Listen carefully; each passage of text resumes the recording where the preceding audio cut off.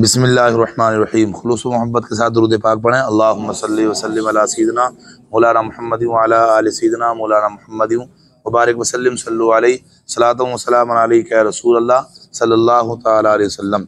कल मैंने आप लोगों को गसल के तीन फ़र्ज़ बताए थे। शर्तें तो मुकम्मल हो चुकी हैं, शर्तें याद करवा दी हैं। अब उसी में से गसल के तीन फ़र्ज़ हैं। जब हम नमाज़ पढ़ने का इरादा करें और नपाक हैं तो पहले हमें गसल करना है। तो मैंने आपको बताया था कि आपको गसल के तीन फ़र्ज़ आज बताने हैं है ना? तो आज के सवाल के जो पहले सवाल का जवाब देंगे वो देंगे सैरान भाई। आप बताइए खड़े हो जाओ। आप बताइए कि गसल में गसल का पहला फ़र्ज़ क्या है? देखो जाओ गसल में तीन फ़र्ज़ हैं। पहला फ़र्ज़ कुल्ली करना। ये पहला फ़र्ज़ बताया है गसल का। तीन में से एक फ़र्ज़ हो चुका है। अब दूसरा फ़र्ज़ जो बताएँगे वो है अब्बास अली। गसल का दूसरा फ़र्ज़ नाक में पानी डालकर नाक साफ़ करना। अब गसल का तीन तीसरा फ़र्ज़ बताना है किसी शख्स को दो फ़र्ज़ बता दिए हैं कुल्ली करना और नाक में पानी डाल के नाक को साफ़ करना। गसल का तीसरा फ़र्ज़ बताएँगे छोटे वाले अब्बास भाई। आप बताओ गसल का तीसरा फ़र्ज़ क्या है?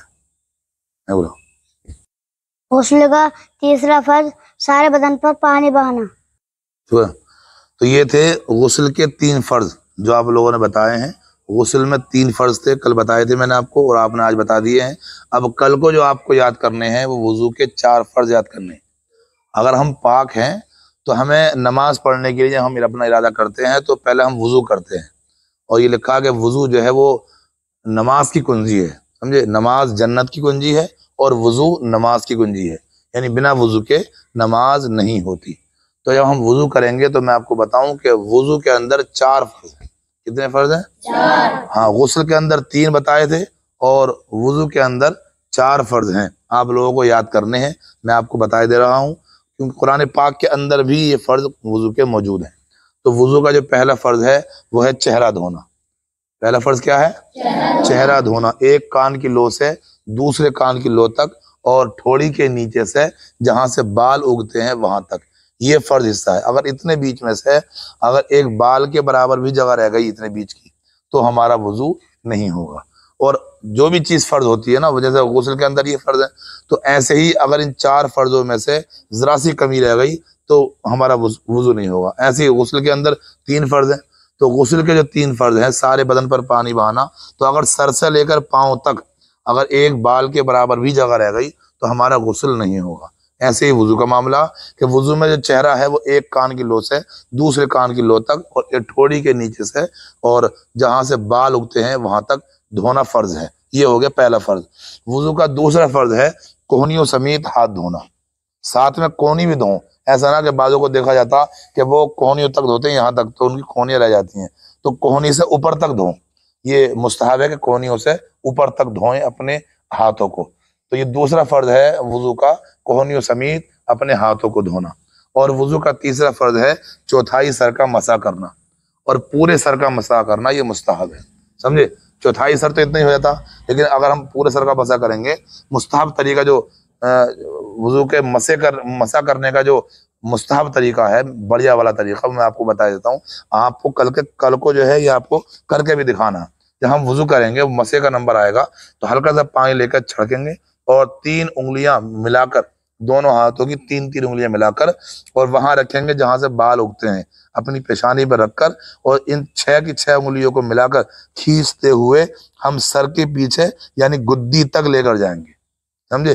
पेशानी से रखकर और गुद्दी तक लेकर जाएँगे इस तरह खींचते हुए। अब वहाँ से अपने हाथों को, उंगलियों को उठाकर हथेली रख के गुद्दी पे हथेली रखते, रखकर और खींचते हुए कान के ऊपर से और माथे तक लेकर आएँगे। वसीम भाई, समझ में आ रही है बात? है? कि जब हम अपनी पेशानी पर रख के और खींचते हुए गुद्दी तक लेकर लेकर जाएँगे और उधर से अपने कानों के जरा से ऊपर रख के और खींचते हुए पेशानी तक वापस लेकर आएँगे। ये, इस तरह से हम मज़ा करेंगे। उसके बाद हमारी जो ये उंगली है, जो अभी टिकी नहीं है, ये उंगली और ये अंगूठा, इस इस वाली उंगली से कान के अंदर का मसा करेंगे इस तरह से। ये इस वाली उंगली से कान के अंदर साफ़ करेंगे। अब इसे अंगूठा बचा है तो अंगूठे से कानों के पीछे का हिस्सा साफ़ करेंगे ये। ये हो गया आप उल्टे मतलब ये जो हमारी उंगलियाँ हैं, उल्टी तरफ़ से ये बची हैं। तो इसको जो है, अपनी गर्दन पर फेरेंगे ये, यहाँ पर। बस सिर्फ़ पीछे पीछे फेरेंगे, आगे लेके नहीं आएँगे यहाँ। बाद बाजों को देखा जाता है कि वो ऐसे ले आते हैं तो उनका वज़ू मकरू हो जाता। क्योंकि गले का मसा करना मकरू है और गर्दन का मसा करना पीछे से ये जो है, ये तरीका मुस्ताहब है। इसका ध्यान रखेंगे हम जो है मसा करेंगे तो उसका तरीका ये होगा। और चौथा फ़र्ज़ है टखनों समीत को अपने पैर अपने पैरों को टखनों समीत धोना। तो टखनों से और ऊपर तक धोएँ ताकि मुस्ताहब तरीका भी अदा हो जाए। ये है वज़ू के चार फ़र्ज़ जो कि आप कल को बताने हैं और इसी तरीके से इनशाला वज़ू करने की कोशिश करनी है। और परवरदिगार आलम हम सबको सही तरह से नमाज़ पढ़ने की तोफ़ी अता फरमाए। आमीन। बजाह नबी अलैहि वसल्लम।